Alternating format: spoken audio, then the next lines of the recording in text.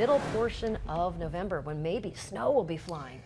Well, as a matter of fact, uh, speaking of change, there may be a couple Ooh. of changes in the forecast oh. next week. The oh. models are kind of hinting at that, oh. Natalie. Before you start getting mm. too excited, okay. you start uh, waxing up your skis. It is kind of nice to see uh, still a little bit of snow there on the backside of Bogus Basin. But that was all courtesy of the storm system that we had last week.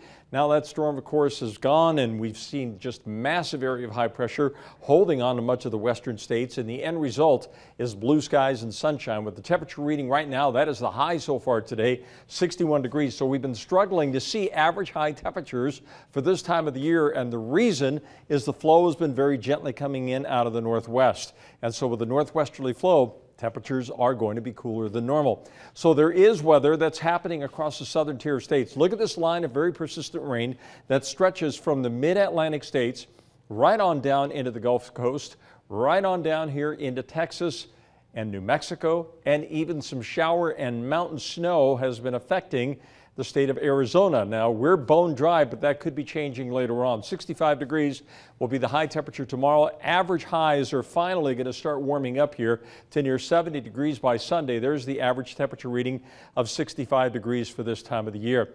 So the giant ridge of high pressure is acting like a storm blocker with its sinking suppressive air that keeps pushing the clouds and uh, all the storms away from us. As long as the high pressure is in place, the pattern is going to remain virtually unchanged. So dry high is going to continue all the way through the weekend, but we're going to be watching this. The models are saying, hey, don't forget to look up here in the Gulf of Alaska because something's going to be brewing up there, and that something could bring the possibility of a chance of showers around the middle of next week. It's certainly something we'll be watching in the days to come. For right now, sit back, relax, and enjoy the incredible weather for the next five to six days. And then maybe around the middle of next week, we could see a little moisture with the possibility of some kind of a front coming back to the region.